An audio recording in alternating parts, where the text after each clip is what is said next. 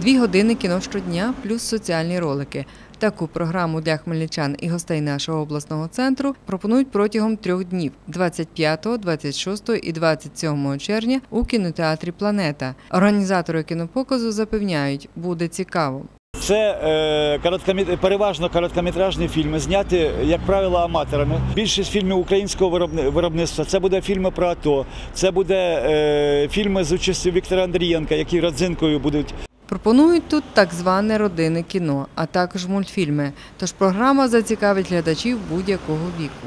Ці фільми зняті не за рахунок держбюджету, а за рахунок е, е, аматорів, авторів.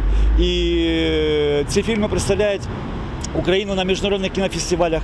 Е, Взагалі, крім е, українських кіно, буде показана е, широка програма білоруської кі- кінокомпанії.